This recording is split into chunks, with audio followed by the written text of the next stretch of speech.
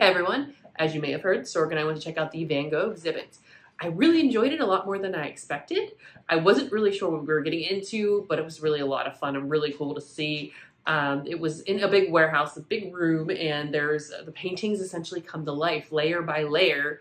Um, or there'll be a lot of movement within, you know, taking those paintings and then adding movements, uh, which was really neat. Uh, soundtrack was super cool. I, I liked how when they were trying to make it, it look like the water moved on uh, both the wall and then projections on the floor. I really, really enjoyed those because it also, again, made it look like the floor there was water or like paint strokes where there's like that, that fun texture in there.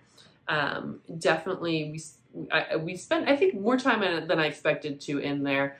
Um, but really enjoyed it, really thought it was cool seeing the paintings come to life and just um, watching everybody else enjoy it too was really, really neat.